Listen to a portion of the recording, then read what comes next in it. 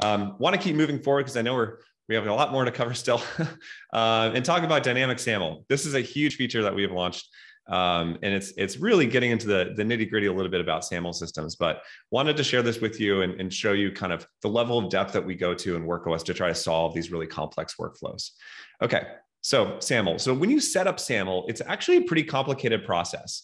Uh, before we built this, the way, and this is how, for what it's worth, like everyone does it today.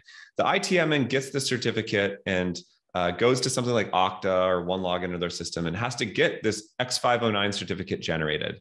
And the certificate is essentially a key that's used to encrypt the SAML payload to, to validate the SAML session. You know, you can think about it as a kind of like a secret key.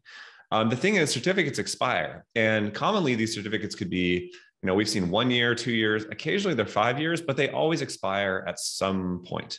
And it's good practice to have the certificates change, you know, because you you maybe want to roll the back end IT system for these these companies. So the certificate gets uploaded, you get connected for SAML, but then 12 months later, the certificate expires. And when the cert expires and you can no longer sign that SAML assertion, users can't sign in. it breaks the authentication, which is obviously not what you want for these big customers. Most companies set this up, forget about it, especially if you're a fast growing startup, you just don't even think about it. And then a year later or two years later, this stuff just breaks. And, uh, and it's very, very frustrating and confusing. And you essentially have an outage for a really big organization. So we took this problem. We said, hey, what if we focused exclusively on trying to fix this for a few weeks? Like this really weird kind of edge case, but you know, still pretty, pretty serious issue that can emerge. And what we built is something we call dynamic SAML. So instead of setting it up by generating the certificate, we can do it through something called a metadata URL, um, which is mostly standardized. We've worked with a lot of different vendors and providers to get the standard format in. And that certificate is then generated through that URL. We can pull that in. And then 12 months later, when that certificate expires, we're able to renew and refresh that certificate with a future cert that expires in the future. So with this new system, um, essentially the certificate is never fully expiring as you're always being able to get a new one. You don't have that outage. It's a much more robust integration for your customers. Um, this is what it looks like when you set it up and configure it. You put in the metadata URL, and this is something provided by IT admins that they can put in and save and configure it. Um, and the previous version, which is still available to you, is that you can set this up manually. And that includes things like the IDP URI, the IDP SSO URL, um, and the certificate here in many different formats that you could have to upload. Um, so I think that this is probably most useful to switch into a demo as well, so you can see this end to end, see what the experience is actually like. So I'm going to swap over to Michael Hadley, um, who's going to walk us through it. Hi, I'm Michael, an engineer at WorkOS. Today I'd like to tell you about the improvements we've made to the workflow for managing SAML-based SSO connections.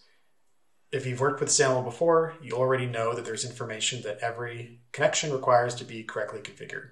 At the least, these include the IDP entity ID, the IDP SSO URL, and the X509 certificate. Manually entering these values can be error prone, as it's possible to copy and paste the wrong value, or in the case of X509 certificates, there are many file types like PEM, DER, or CER, which only adds to the confusion. Thankfully, there is a better way. There's a standard way to share this information known as the SAML metadata specification. And don't worry, we're not going to be reading any specs today. However, we've added first class support for SAML metadata in WorkOS, and we'd like to show that to you. So, first thing we'll do is we'll create a organization in the WorkOS dashboard. We'll add our organization domain, and next we'll create a connection. So we'll be working with Azure. And after we've created the connection, you can see we have this metadata configuration section. If we open that up, there's a single input. It's asking for metadata URL. In another tab, I've already set up an application in Azure. And if we go down here to the uh, SAML sign certificate section, you can see there's this metadata URL value. So we can copy that, come back to the WorkOS dashboard and save it. And instantly our connection is configured. We extract uh, the various fields down here from the metadata so you can see them. So we have the IDP entity ID, uh, the SSO URL, uh, and we show which certificates were in the metadata. So this one had one certificate, and we show the uh, expiration dates. Uh, one nice thing about using metadata URLs is that WorkOS can actually detect when a certificate is about to expire, uh, refetch the metadata from that URL, And if there is a uh, newer certificate, replace the old one, all without requiring any intervention from you or your customers or having to ask your customers for uh, newer certificates. So uh, that's one nice benefit. Uh, so this is great if you're creating connections for your customers uh, in the dashboard. Um, but it's even better if you're using Admin Portal as they can uh, perform all these steps themselves. And we've added SAML metadata support in Admin Portal as well. So let's take a look at that. So first thing I'll do is delete this connection. And we'll use the handy portal setup links to initiate an portal session. And just like uh, before, we'll create an Azure connection. And I've already performed most of these steps. Uh, I will need to copy it uh, over the uh, new um, SAML information here. So do that real quick and save it. And then we can continue to move through the steps.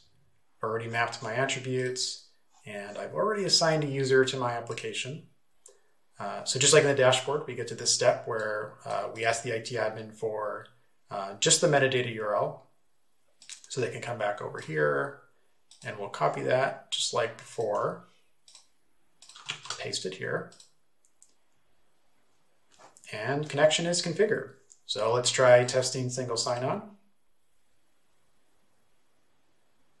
And it works, great. Um, they can also view uh, similar information here in the admin portal. Uh, and then one other thing I wanted to mention is that if for any reason uh, you or the IT admin uh, do not want to set up their connection using uh, metadata, we still offer the manual fallback. Uh, in particular, this might be useful for generic SAML connections where you might have a proprietary identity provider that doesn't support publishing their metadata either through URL or XML file. Um, so we still have that. And that's SAML metadata. Uh, we think it will simplify your uh, SAML uh, workflows for creating connections, uh, and uh, hope you enjoy it. Thanks. All right, so that's the demo for the new dynamic metadata uh, setup for SAML configurations. It's super fast to configure and connect.